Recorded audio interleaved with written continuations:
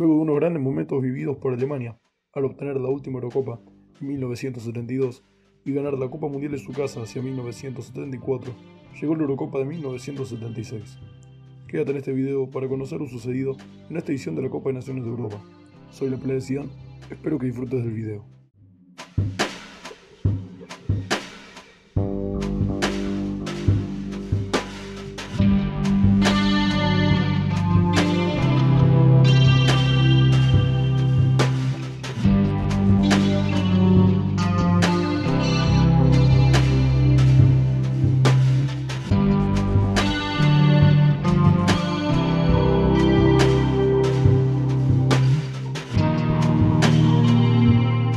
En esta edición del torneo participaron 32 países de Europa divididos en 8 grupos.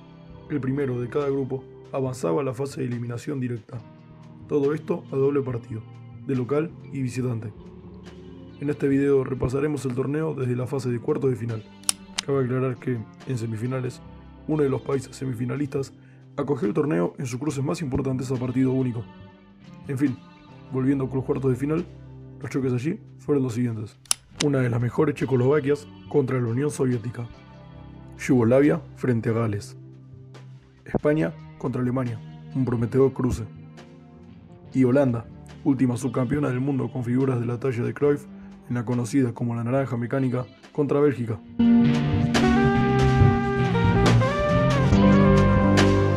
Repasaremos esta fase rápidamente, sin muchos detalles. En Checoslovaquia, los locales vencieron a la Unión Soviética por 2 a 0 gracias a los goles de Moder y Panenka. En Kiev se dio un gran partido. Los equipos igualaron a dos, resultado que le dio la clasificación a las semifinales a Checoslovaquia. Por otra parte, se medían Yugoslavia y Gales en Zagreb. Allí, por el duelo de ida, se impuso Yugoslavia por dos goles a cero. En Cardiff, tras la igualdad a un gol, Yugoslavia clasificó a semifinales en medio de una invasión al campo de juego provocada por los desbordados aficionados. En un vibrante partido, España y Alemania empataron 1 a 1 en el Vicente Calderón, donde Santillana marcó para los locales y Pedro para los visitantes. La vuelta, jugada en Múnich, terminó en victoria para Alemania Federal por 2 a 0. De esta manera, los germanos pasaron a semifinales. La serie más desigualada fue entre holandeses y belgas. La ida fue victoria por 5 a 0 para los tulipanes de Rotterdam, con hat-trick de Resenbrink incluido. La vuelta, jugada en Bruselas, fue victoria también para los naranjas.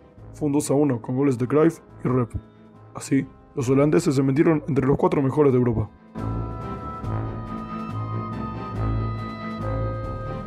Llegada a las semifinales, Yugoslavia acogió el torneo desde aquí. En esta fase, los siguientes partidos. Checoslovaquia contra Holanda y Alemania Federal ante el local, Yugoslavia. Todos los duelos a partido único. En Zagreb se jugó el duelo entre Checoslovaquia y Holanda. Ondrus, con un certero cabezazo, puso en ventaja a los checoslovacos, pero el mismo jugador, increíblemente, hizo el gol de Holanda, pues se anotó en propia puerta al minuto 77 para poner el 1 a 1. Terminaron los 90 minutos de juego y se tuvo que jugar el alargue. Allí, Checoslovaquia impuso efectividad con dos ataques que bastaron para anotarse en la final. Primero fue Nejo del autor del gol al minuto 114. A falta de un minuto, Veseli liquidó el juego.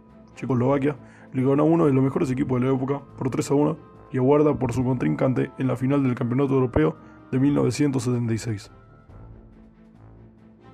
En Belgrado se enfrentaron los locales y Alemania. Boda puso en ventaja a los caseros al minuto 18. Sajic, al minuto 35, puso el 2 a 0. El país enloquecido, pues se está metiendo en la final del torneo europeo. Floge, a los 65 minutos, logró el descuento parcial. A falta de 10 minutos, Dieter Müller les aguó la fiesta a los locales, pues marcó el 2 a 2 y forzó la larga. Allí, los campeones del mundo sacaron credenciales y, sobre el final del partido, Müller le devolvió la ilusión a todo un país consumando su hat-trick. Al minuto 115 puso el 3 a 2 y cuando quedaban 2 minutos, él mismo puso el 4 a 2. El campeón defensor, el campeón del mundo, en la final del Euro de 1976. Antes de jugar la final, había que definir el tercer y cuarto puesto, por ello se enfrentaron yugoslavos y holandeses. Se abrió el marcador con gol de Hills a los 27 minutos a favor de los naranjas.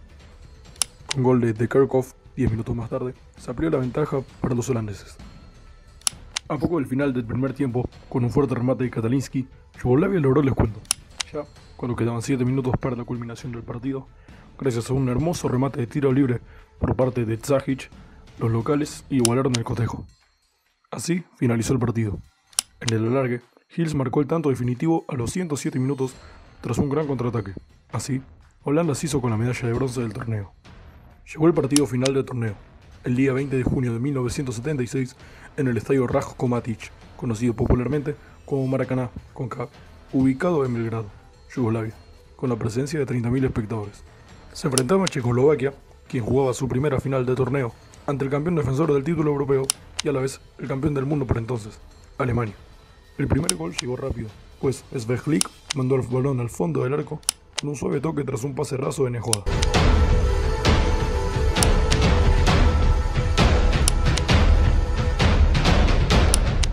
Un zurdazo potente de Dobias desde afuera del área aumentó la ventaja de Checoslovaquia sobre Alemania, que no encontraba reacción.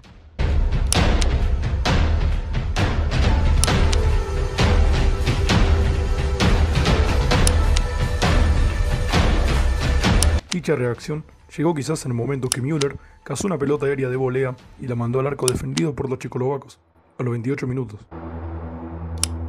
Al minuto 89, los alemanes igualaron el partido con un cabezazo de Holzenbein, lo que condujo el partido a la larga. En esos 30 minutos no hubo posibilidades de gol destacables, persistió la igualdad a 2. Por ello, no hubo más remedio que definir la copa por penales. Tras unos remates más, la situación estaba 4 3 a favor de Checoslovaquia. Le tocaba patear a Juanes, que, de convertir, igualaba nuevamente la serie.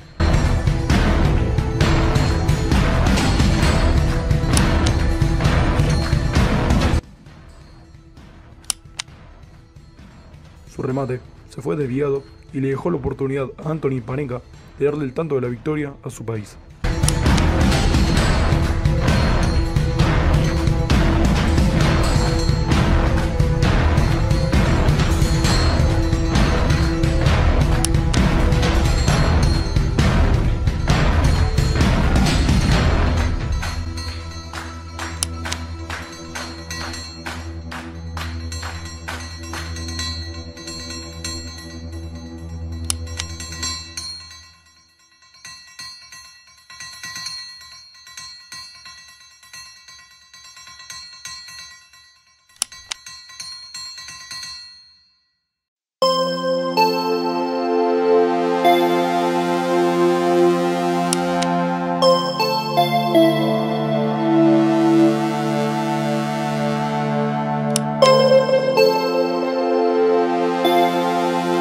Definición inigualable, única, con una especie de vaselina, ante la nada que pudo ser el guardameta alemán Sepp Mayer, que se había lanzado hacia la izquierda, Checoslovaquia gritó campeón.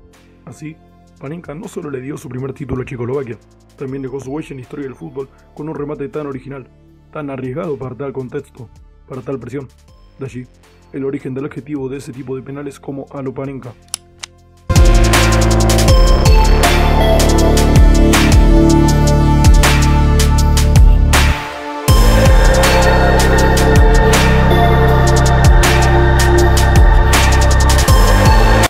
del certamen fue el alemán Dieter Müller con 4 goles.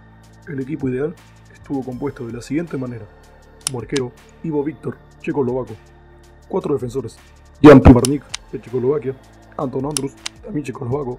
Ruth Kroll, holandés. Y Franz Beckenbauer, el Kaiser alemán. En el mediocampo, Rainer Bonhoff, de Alemania. Jaroslav Polak, checoslovaco. Antonin Panenka, también checoslovaco. Y Dragan Zahic, yugoslavo. Dos delanteros el goleador del torneo, Dieter Müller, de Alemania, y Zdenek Nejoda, checoslovaco. Muchas gracias por ver el video. Espero que te haya gustado y de ser así no olvides dejar tu me gusta, te invito a suscribirte al canal para estar al tanto de las series en torno al fútbol que subo y compartirlo con tus amigos hinchas de alguno de estos clubes. Te invito a suscribirte al canal de Kamui X Loquendo, su enlace en la descripción. Hasta la próxima.